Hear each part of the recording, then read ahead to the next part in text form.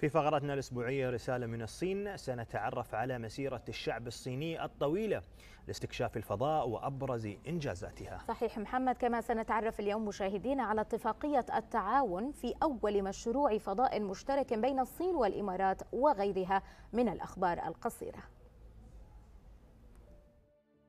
كم عدد النجوم في السماء؟ منذ آلاف السنين لم يتخلى البشر أبدا عن مساعيهم لاكتشاف روعة الكون. فقد بذلت أجيال من العلماء جهودا متواصلة لدفع مشروع استكشاف الفضاء نحو تحقيق المزيد من الإنجازات بدءا من تصور القدماء للكون مرورا بالخطوة الأولى للإنسان على القمر وصولا إلى نزول أول رائد فضاء إماراتي هزاع المنصوري في محطة الفضاء الدولية.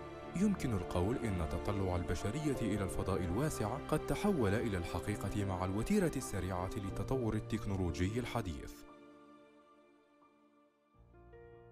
بدأت مسيرة الشعب الصيني الطويلة لاستكشاف الفضاء بشكل رسمي بعد إطلاق أول قمر اصطناعي صيني دونغ فانغ هونغ واحد في عام 1970 ونجحت الصين بعد ذلك في إطلاق أول مركبة فضائية مأهولة شينشو 5 في عام 2003 مما سجل علامة فارقة في تاريخ تطور صناعة الفضاء للصين وأصبحت الأسطورة حقيقة أيضا.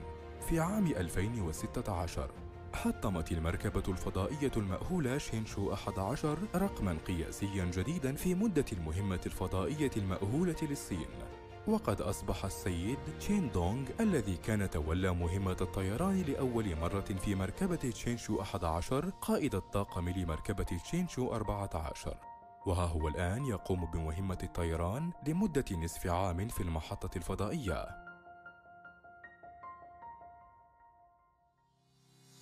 بعد 52 عاما منصرما رغم أن مشروع الفضاء الصيني قد دخل عصر المحطة الفضائية لكن وتيرتها للاستكشاف لن تتوقف أبدا. تعمل الصين حاليا مع الإمارات العربية المتحدة على التوجه نحو فضاء أعلى وأبعد. فوقعت الصين والإمارات العربية المتحدة اتفاقية تعاون في مجال الفضاء. تخططان في إطارها إطلاق مركبة تشانغ آه 7 لاستكشاف أسرار القمر بحلول نهاية عام 2026 وسيكون على متنها المسبار القمري راشد اثنين الذي شاركت في تطويره الإمارات العربية المتحدة. فإن بدء أول مشروع فضاء مشترك بين الصين والإمارات العربية المتحدة سيخلق المزيد من الإمكانيات للمستقبل.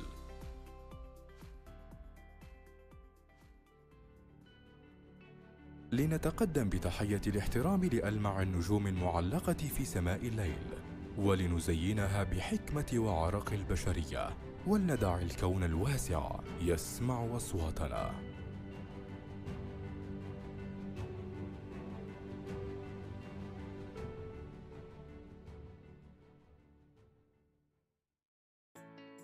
وصل زوج الباندا سهيل وثريا إلى الدوحة قادمين من الصين في أول رحلة للباندا إلى منطقة الشرق الأوسط.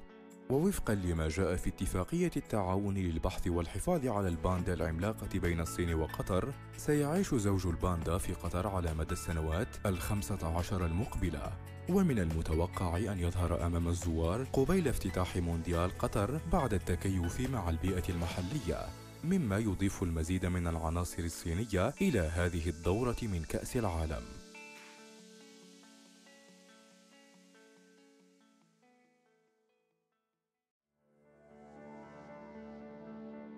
ستكتمل المرحلة الثانية من مشروع شبكة السكك الحديدية الوطنية الإماراتية قريباً. لقد تم تسجيل العديد من الإنجازات المذهلة بفضل الجهود المشتركة للشركات الإماراتية والصينية، بما فيها صب الخرسانة لمساحة تزيد عن عشرة ألاف متر مربع في مرة واحدة واكتمال أعمال وضع القضبان الحديدية البالغ طولها 7.2 كيلومتر في يوم واحد. علاوة على ذلك، قد غطى هذا المشروع التضاريس المعقدة المتمثلة في الصحراء والمناطق الجبلية والساحلية وستصبح شبكة السكك الحديدية هذه. ممر نقل مهما يربط المحاور الإقليمية بعد اكتمال أعمال بنائها.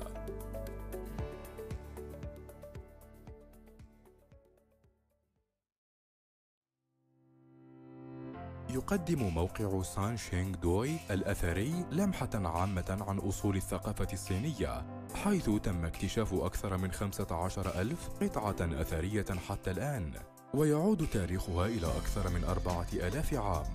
سنتعرف على المزيد من الأسرار المتعلقة بهذه الحضارة بعد التعمق في أعمال الحفر والبحث.